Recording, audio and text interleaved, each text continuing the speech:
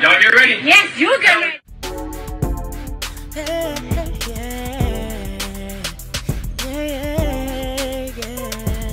You want the latest news in the streets, join us and tune in for the tea. Breaking news with integrity. So tell your friends and your family. It's the Lovely Tea TV show. Bringing you good tea and good vibes. It's the Lovely Tea TV show. Be sure to share, like, and subscribe. Hey tea sippers, um, happy Tuesday. This is like my third video, but I'm honestly back in like my zone. I think I was burnt out for a while and was just over these same repetitive stories. But I'm back in my zone and it's a lot going on. So I gotta break this down. Okay, it's just been announced who was shot at Drake's house. We knew it wasn't Drake, but it's just come out that it was one of Drake's security guards. Um, this is all over CNN, TMZ. It's saying police investigating shooting of security guard outside of Drake's Toronto home. Now, let me play out this clip really quick and I'm gonna come back with what I'm being told and what I'm thinking. Police confirming a shooting occurred outside the home of Canadian rapper Drake in Toronto. This happening overnight in the wake of an escalating beef between Drake and hip hop star Kendrick Lamar. This is the scene outside of Drake's home in the city's Bridle Path neighborhood, courtesy of our CTV News chopper. Police say a man sustained serious injuries after a shooting outside that home and was taken to hospital. Police also say a suspect fled in a vehicle, but no description has been released. So far, there's no word on whether Drake was at home at the time of the shooting, but we understand from police that he has offered to fully cooperate with them. Joining me now is Mark Mendelson. He is a former homicide detective, and he joins us now to discuss the developments in this case. As Mark, we're waiting for more word from police. Uh, details are very scant right now.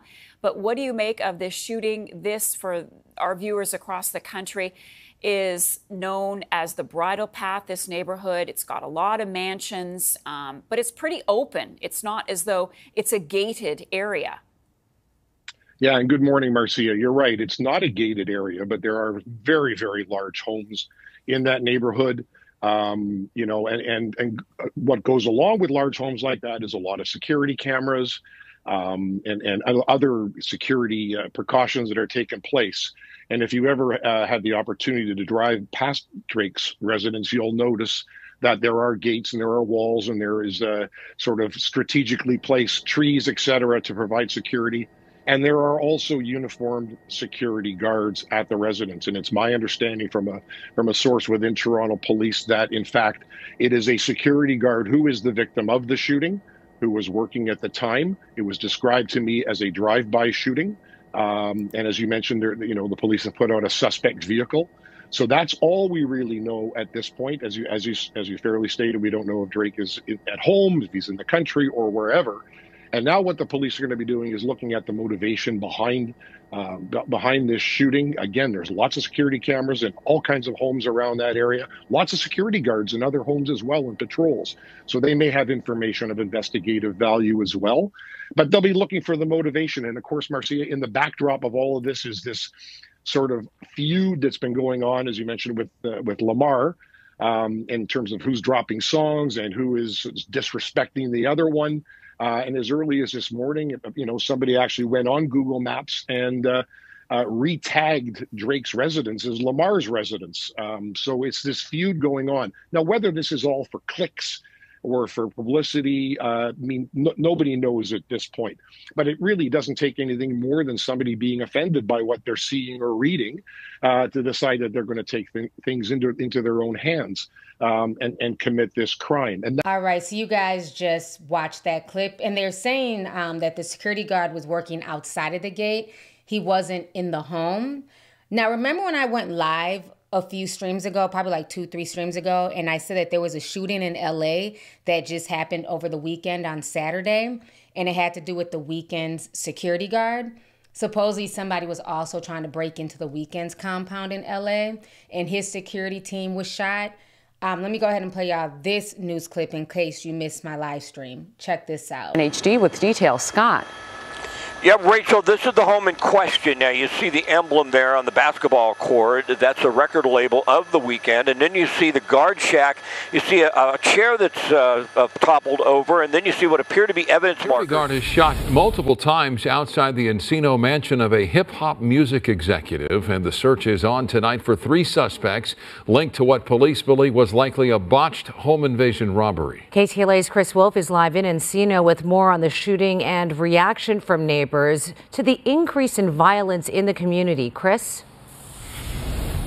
That's right, Cher and Micah. This estate is located at the end of a very long private road.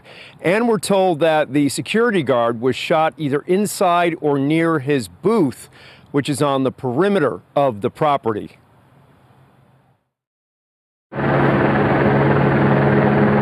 They struck under cover of darkness in a posh neighborhood of Encino, possibly planning to invade the home of a record label executive. Authorities say intruders shot a 37 year old security guard multiple times when he was either inside or near his booth on the edge of the property. The victim was still able to call 911 shortly before 2:30 a.m. Footage from Sky 5 shows the door to the guard box open and a toppled black chair a few feet from it. The $12 million estate along Jaden Lane is reportedly equipped with a state of the art security system and recording studio. Reports show it belongs to Amir Esmailian, notably associated with XO Records and also known as Cash XO.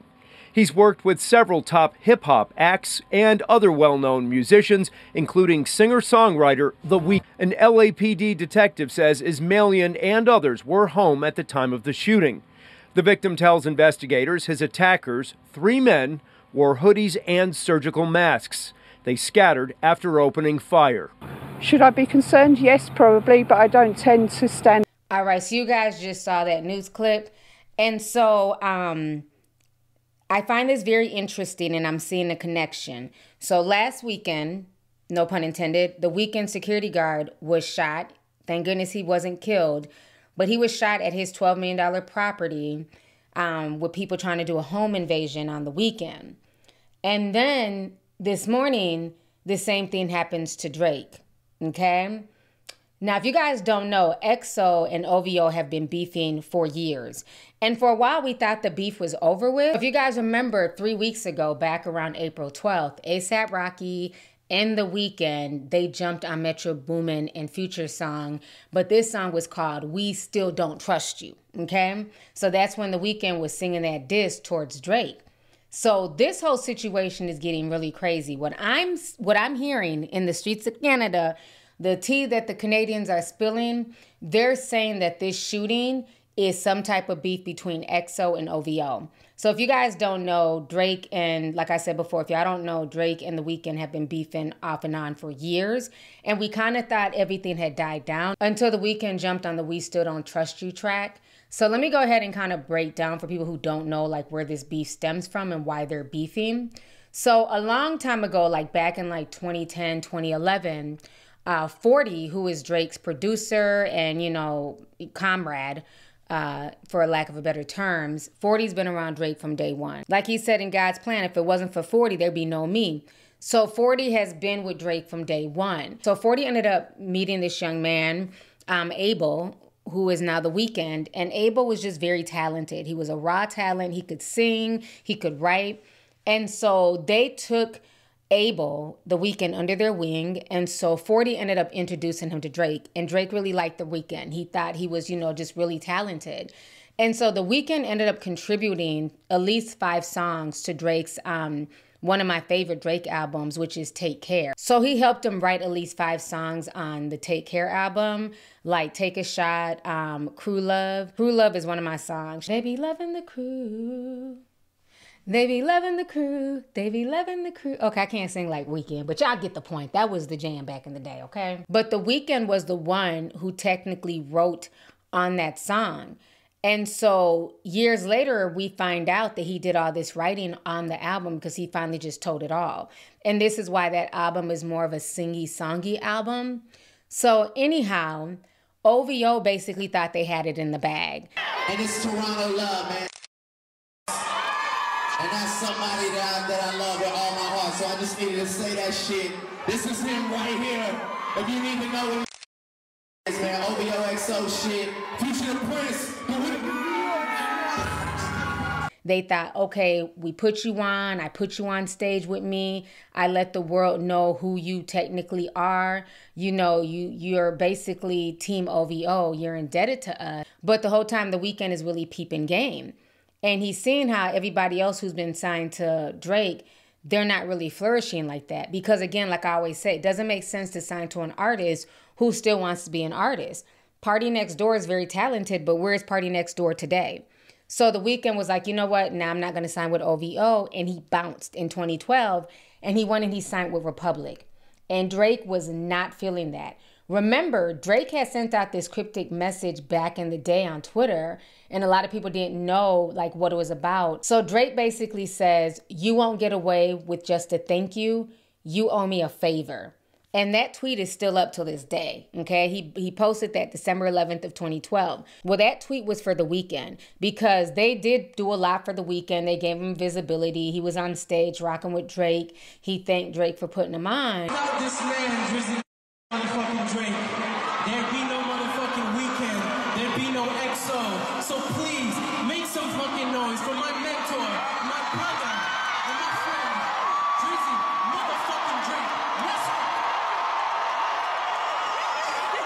And now the sudden you're going to sign with Republic, which was the best thing for the Weeknd because now we get to know the Weeknd for who he is, who's, you know, he's a singer and everything else. But it really affected OVO because the Weeknd went on to make millions of dollars for Republic that technically should have went to OVO because OVO put a lot into the Weeknd as far as getting him visibility and getting people to know his name. So Drake felt like he lost millions when the Weeknd turned on him, quote unquote, and went to go sign with Republic. But Drake was definitely in his feelings. So then what does Drake do? After the Weeknd ends up breaking up with Bella Hadid, all of a sudden Drake is now allegedly dating Bella Hadid. So then he ends up making this song called Finesse back in 2018. And in Finesse, Drake is basically saying, I want my baby to have your eyes. I'm going against my own advice. Should I go to New York? I can't decide. Y'all remember this damn song, Finesse, okay? Should I do New York? I can't decide. Fashion week is more your thing than mine. So that was Drake in the Finesse song, and clearly he's talking about Bella Hadid. And so the Weeknd definitely felt the way. So the very next year, the Weeknd dropped a song called Lost in the Fire, where this is basically him singing a diss towards Drake. So, like I said, all of these guys have been subbing each other for years. You just have to really be on top of it to, you know, pick it out. They all throw Easter eggs in their music. So, this is the diss right here towards Drake. And he's basically saying, you know, I want a baby with the right one because I never want to hide one, which is, you know, goes back to the whole Pusha T blasting Drake for hiding Adonis in the story of Adidon. So this situation with Drake and The Weeknd goes deep. So once The Weeknd sung that, Drake dropped another song called The War, and he was basically like, oh, you know, that was my nigga. We need to sit down and talk and hash it out. So a lot of people thought that, okay, everything was, you know, on the up and up. And Drake even did an interview saying that, you know, they spent all this time beefing when XO and OVO could have been a big thing. They're both from Canada, they're both talented. Here's the clip right here. That we probably wasted seven years not communicating with each other when we had something beautiful going on. You know, like OVO XO still could have been a thing. All right, so you guys just saw that clip. So now we fast forward to today, and I'm seeing Drake's security guard shot, and then last weekend, the Weeknd security guard got shot. OVO versus XO. Are me and the Canadian tea sippers reaching? I don't know. You tell me. But the whole situation is just insane. Either way, I just hope, like, again, all of this stuff dies down and it stops getting crazy out here. But I just wanted to talk to you guys about this now that we know who was shot on Drake's property. It's definitely telling me that this situation's a lot deeper than anybody could imagine. So let's go ahead and get the discussion popping. Let me know your thoughts on this entire situation concerning the Weeknd and Drake and both their security guards being shot less than a week apart. And did you know anything about the Weeknd and Drake's beef in the past? Is this new to you? Um, so let's go ahead and get the discussion popping. I look forward to reading y'all's comments down below. Make sure you guys hit this video with a like. Feel free to share the video. Most importantly, make sure you still subscribe to the channel, and I will talk to y'all later. Deuces. If you want the latest news in the streets, join us and tune in for the tea. Breaking news with integrity. So tell your friends and your family. It's the Lovely Tea TV show. Bringing you good tea and good vibes. It's the Lovely Tea TV show. Be sure to share, like, and subscribe.